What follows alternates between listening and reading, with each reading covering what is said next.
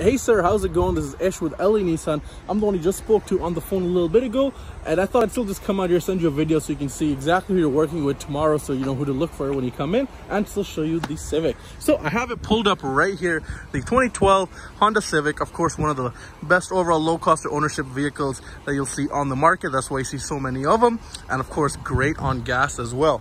On the side are practically brand new all-season tires. Now, this did have to go through a full mechanical inspection by AMVIC stat by, by AMVIC standards, so it is mechanically sound. Anything that wouldn't need it to be replaced would have gotten replaced. Now, taking a look on the inside, no major cuts or anything like that. Of course, your classic Honda driver's assist display up top, cruise control and everything like that. Settings are down here, nice climate control and everything like that.